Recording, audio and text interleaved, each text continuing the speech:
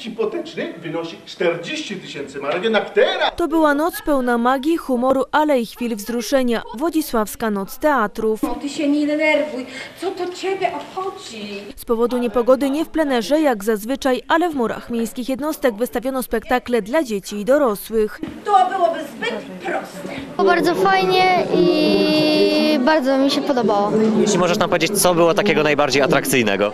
E, Jak tymi lalkami, znaczy jak ta pani poszukiwała tego pantofelka. Każda forma zachęcenia przyjścia y, ludzi do teatru jest, jest wskazana, więc jeżeli my wychodzimy do widza, to i jest to dobre, a taką mamy nadzieję, y, że zachęcamy widza, no to on wróci do teatru potem. Władysławską Noc Teatrów co roku organizuje Stowarzyszenie Nasz Wodzisław. To jest e, e, nasz, e, nasz, nasz pomysł na przekazywanie sztuki e, e, na zewnątrz.